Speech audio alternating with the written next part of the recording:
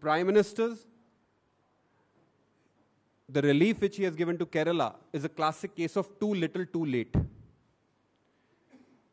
A state which is witnessing a disaster of 19,000 plus crore has only got a paltry sum of 500 crores by Shri Narendra Modi, who spent 5,000 crores on his self promotion and publicity, 35 crore on his fitness videos, 1100 crores on BJP headquarters, and 2000 crores on his foreign travels.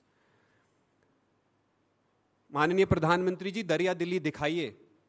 जिस खुले दिल और जब मुट्ठी खोलते हैं अपने पे खर्चा करने के लिए और वही मुट्ठी तंग हो जाती है जब केरल की बात आती है।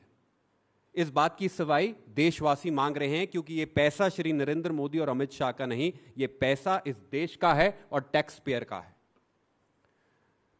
आज समाज का हर नागरिक, जिम्मेदार नागरिक, कांग्रेस की सरकारें,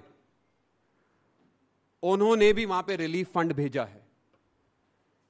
Everybody in the nation civil civilian population chief ministers of different parties have risen to the occasion to help Kerala except prime minister Modi who is busy playing petty politics in such a disaster